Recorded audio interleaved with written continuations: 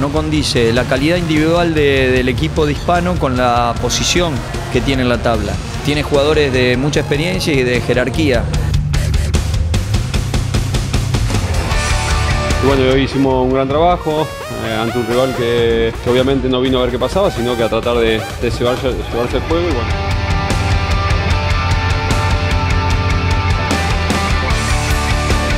volver a, a intentar jugar el, el que nos, ha traído hasta, hasta esta posición en la que estamos. Hicimos un gran trabajo, veníamos de una derrota ahí nomás eh, en Formosa ¿no? y el equipo necesitaba recuperarse.